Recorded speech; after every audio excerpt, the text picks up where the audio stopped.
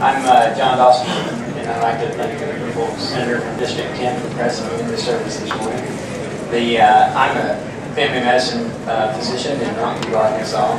I came through the AHEC system. I was the first rural medicine, medicine residency, and uh, we graduated three residents out of all which are participating in uh, rural medicine in a small town.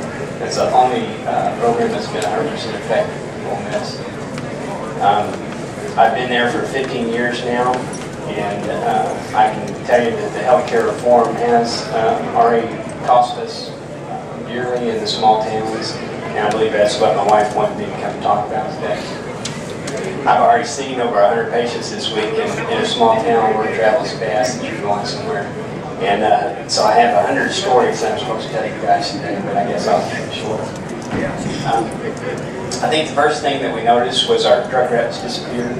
Uh, they were all fired. We uh, used to see 80 drug reps a month. Uh, now we see about three.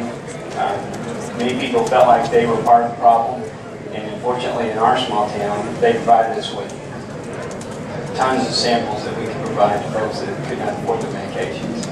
Uh, my drug cabinet is bare now, and so I don't even have to go look for the patients now. I just don't look, try to find something off Walmart for $4 this morning.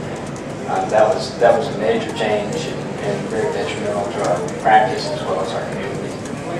Uh, the older folks in, in my practice will tell you that their Medicare rates have uh, skyrocketed. They're, some of them are having to pay copays to come see me. Some of them choose to see me as a self-pay patient instead of um, paying the copays because it's cheaper.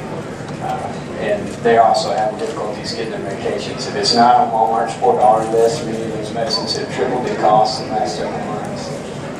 Um, a young couple, which I will relay their story, they asked me to share this with you. Uh, a young man and his wife in their 20s and have two children. Um, she, they went to renew their insurance this year, and um, for her family, they offered them a rate of $1,200, but the young lady, they insured separate their rate of $1,600 a year.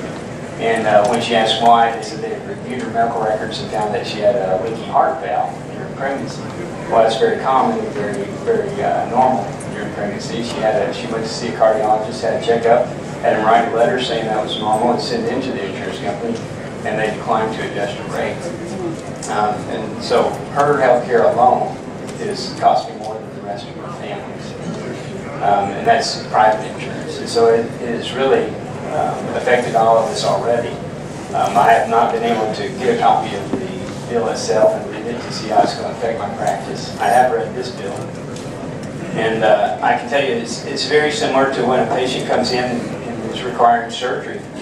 I'll uh, evaluate them, examine them from head to toe. I'll draw a lab on them um, and perform an EKG on them um, and make sure that they are in the best state of health that they can be before they enter in that surgery and come out on the other side in a, in a good way. Um, I believe this bill does the same thing on our conversion for our state. Just make sure that as things come in, that we're going to be able to deal with them and implement them and make sure that we all benefit from it in the future. So I'd have to agree that this bill is very good for our state and our patients.